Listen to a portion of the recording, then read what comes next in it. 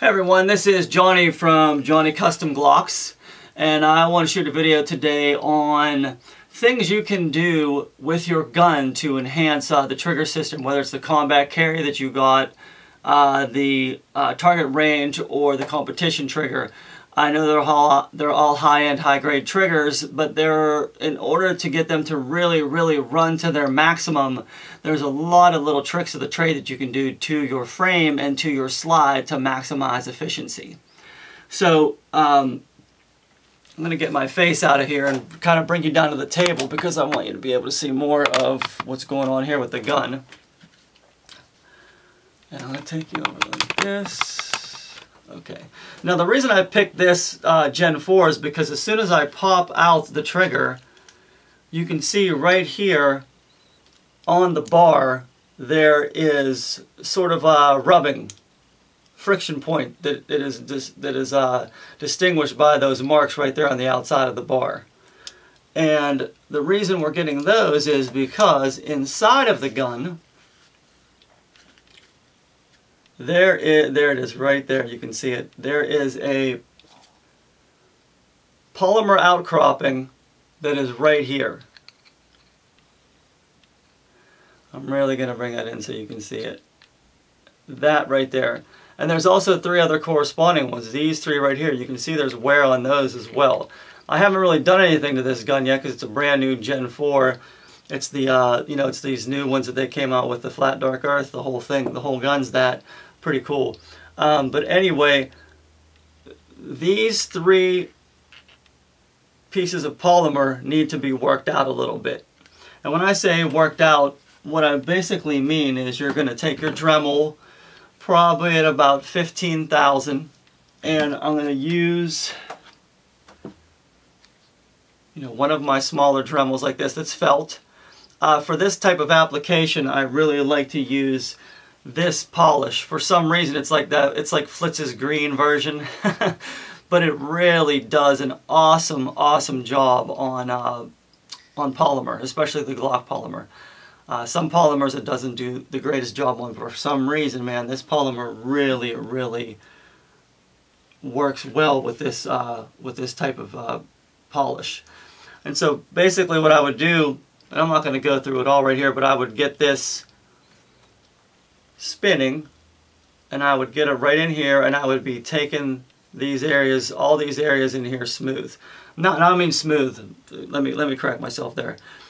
The the the theory is that if one, if two, if two surfaces are sliding off against one each other, if one of them is slightly rounded, there will be less drag and less friction.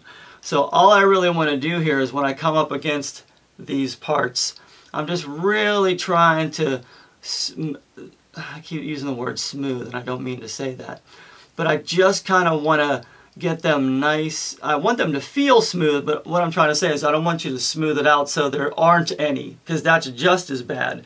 If you take too much polymer off of there, then you're not going to have this bar sandwiched against there, which gives you, uh, you know, back tension against the against the connector.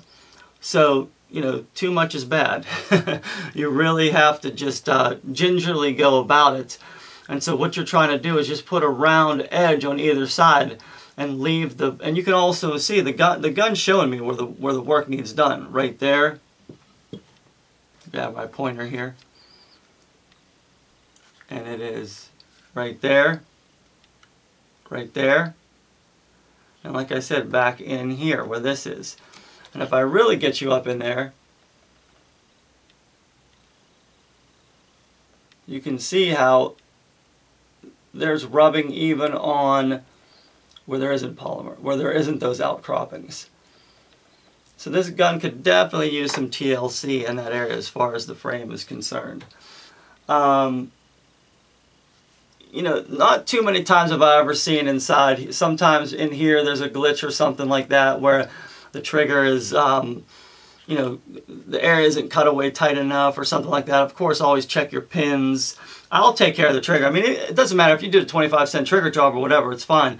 I'm just saying, to, uh, you know, of course, it's a Johnny Custom Glocks video, so I'm, you know, promoting my trigger that goes in the gun. so basically, if you did get the trigger from me, you know it's spot on. I have done my, you know, I've taken care of my side of the street and, uh, you know, we really want to make sure we're getting it to maximize. So those are the kind of major things in the frame. And like I said, if you really take a look at it, the frame will guide you and kind of tell you where you need to work it. Okay. Uh, next is the slide.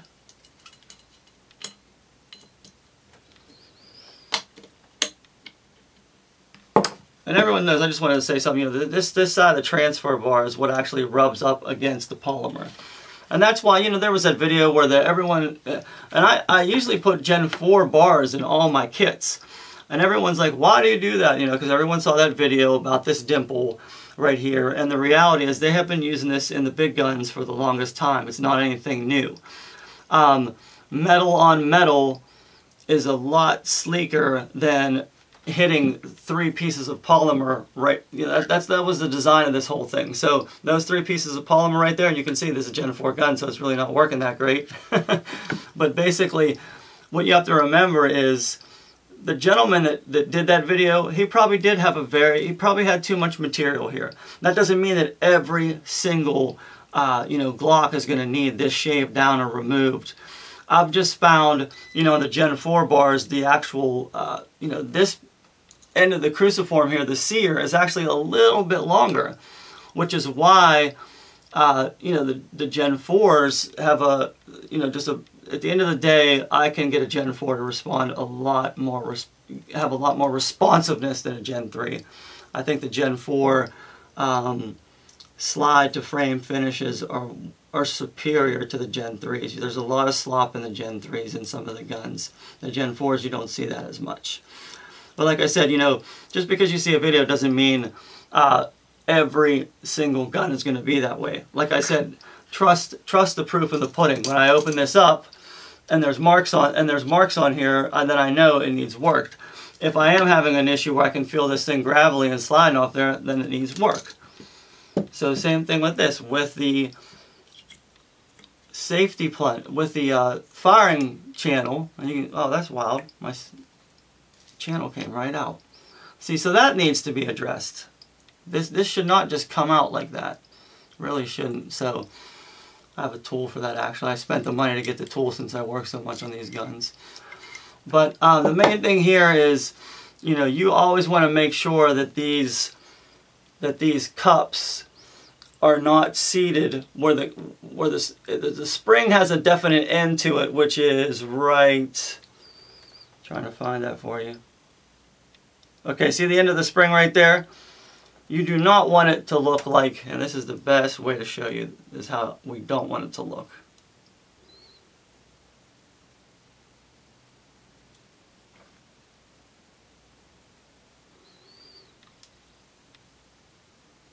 If I could just find the split. we don't want it to look like this. Back it out. Bring it in. Can you see now how it's offsetting the two cups? The end of that spring is right where the cups separate, where the two cups meet. That is going to cause a big headache for you in a lot of different ways. It, it really, it really is, you'd be scratching your head when you're like, my gun's doing such weird stuff. But it usually can come from something like this. So you have to make sure these are seated right and the spring, is, the end of the spring is not on where those two cups, uh, you know, where those two cups come together. Sorry about the focus on this. Again, on the side here, you can see there's a little wear there. Uh, there's some videos that say just just do that immediately. That's not a, that's not a good idea. If you just do it immediately, you're going to have a stri striker that rattles like hell in your gun. But as you can see right there, there's a little mark which means I want to pay a little bit of attention to it. Also, I think this is a worked striker of mine. No, it's not. Let me see if I can get real close up with this. I have to steady my hand. Okay, see the tooling lines on there? They're going around in a circle. And you can even see the marks right here that could cause, this is a major, major point of engagement. And I had a, a video where I was going to show you how to work on it, but I had some uh, veterans of mine tell me not to do it because people might be acting a fool, so I decided not to do it. But the reality is, you really want to get this area as smooth as possible. Uh, even if you can get those tooling marks out, all it really takes is a thousand or two thousand grit sandpaper, and uh, and then just really hit it with this, you know, hit it with this Dremel tool, you know, with some Flitz or Mother's Magic or something like that, right here. And I mean, it's gonna be it's gonna be marble, man. It's gonna be glass on glass. Another thing with this is the reason this is angled up like this is because I told you if, if one leading edge is actually has a little uh, angle or bevel to it, it, it, glides easier. So when this so when the system, I'm trying to see if I can do it in an easier way. So as this as this is running up here, as this is running up this up the channel here, with, and the sear grabs it again, it has a little bit of an angle, so it gets picked up. Also, this, if you really want to tighten your gun up at the end of the day, and you've got it to, you know, really dialed in, and you're going to take down those last few little uh, moments of travel, this is the area you want to take off right here and make this flat. But not too flat. I'm telling you, go two or three stone things at a time. Really, if you take it to about right there, right about there in Gen 3s. See, Gen 3s and Gen 4s are different. Gen 3s, Gen 4s really don't need it. The Gen 3s really could use a little bit of this, of this taken off. And, you know, of course, you're just going to get a stone or whatever, and you're going to go, you know, you're going to go across the top like this, keeping it flat, because that's going to cause your break. Because when this sear comes off it,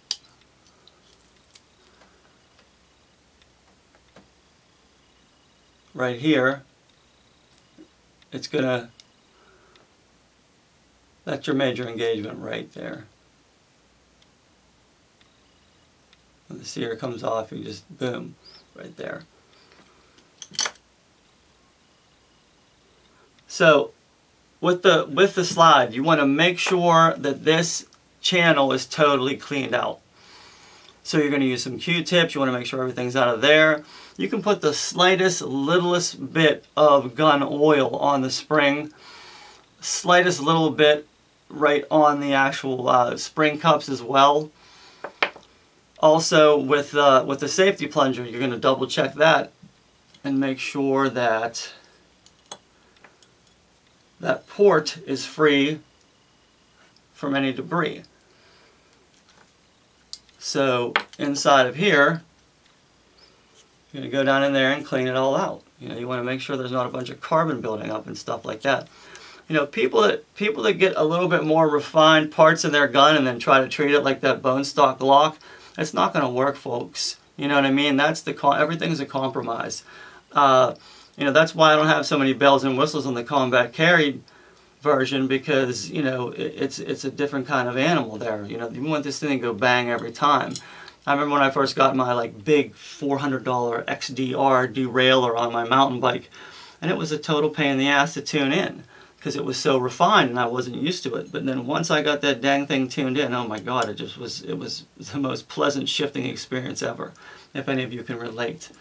Um, also, just always check your striker bar for uh, Mars and dings in this area where the shelves are. Every once in a while you'll see marks, especially with the strikers that are, that are lightened, that are moving faster um, they usually bang up against the uh, safety plunger a lot and you can see those Mars and you know, little dings and stuff taken out of your safety plunger. At that point you need a new safety plunger.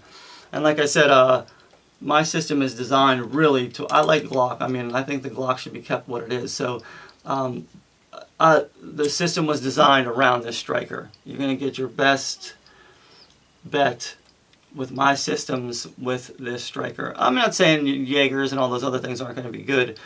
Uh, if you want to use them, you know, you know, have at it. But you know, just know I designed it around this system because it's a lot easier to keep consistent because that's the gun it's going in.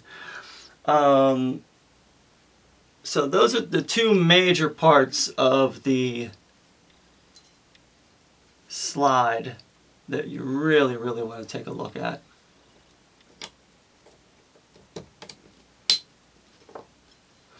also, you know, when you are when you when you do get the the when you get the gun put back together, like I said, there's that slide to frame fit. When you're testing your trigger, and I know everyone doesn't like magazines in a gun, but put the magazine in the gun, especially if you're taking material off of the striker. Have the magazine in the gun, because that is actually going to lift the rear. So look at that. See that right there, the tolerance? It's going to actually lift this up a little bit. And so therefore you'll be getting a false read if you don't have some kind of if you don't have some type of upward pressure coming up against there, right that, you know, that's going to that's going to definitely definitely uh, change things up once you get that magazine in there. Not drastically, but just like I said, make sure you get it in there. Um, those are basically just a few things that I wanted to show everyone that they can do um, to the gun themselves. And like I said, just don't do it because someone said it or one video had said to do it, even if I said to do it. You're looking for the gun to show you where to work. And like I said, it will be absolutely 100% telltale. It'll show you exactly where the marks are so you know where to just smooth out the material and and uh, get it. And there's also like a couple different waxes you can use here that, that actually do a pretty good job. Um, you can kind of look into those as well. But uh, yeah, those are the major things. I've taken care of the trigger end of it. Now for you guys, it's uh, it's basically a, it's basically these couple things I showed you are really, really, really going to make the difference. Um, also, you know, I just want to say a word or two here about, um, you know, when you guys when you guys get the when you guys get the guns, um, and when you get the trigger, because I set the tolerances so tight for these competition triggers, um, and I am putting them in my donor guns and then going out and shooting them, and they and they work fine. Uh, I had a couple that were had a, I had like one week where there were crazy reset issues with all the triggers that I sent out, and I'm just like, what the heck?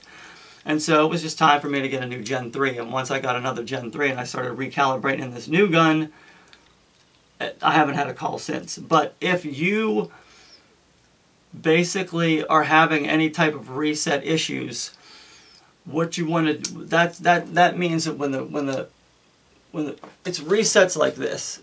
This is basically your your reset and it sits on the outside of this cruciform and goes snaps off of there. It's kind of hard to do with I'm gonna just fake it like that's it that noise right there. So what happens is because I'm trying to tune it so quick this bar is actually resting the beak of that bar is actually resting, you know, right about there. If it's resting down a little bit further, the gun will reset itself because the because just the violence of the shock of the of the of the shot. You know, boom, it'll do that. And so basically, what you have to do is you have to, you know, take the rear screw, the, the rear screw right here,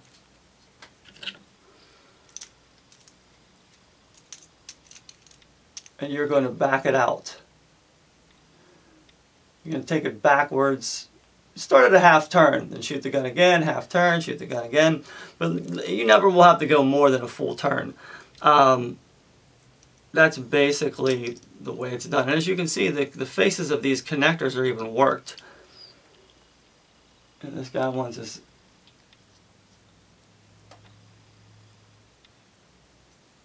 right there you can see just how nice and shiny there we go see how shiny that thing is? So basically that is a very slick purpose beveled and angled and rounded and all this other cool stuff that I do to it to get it to really react quickly coming off of this coming off of that beak.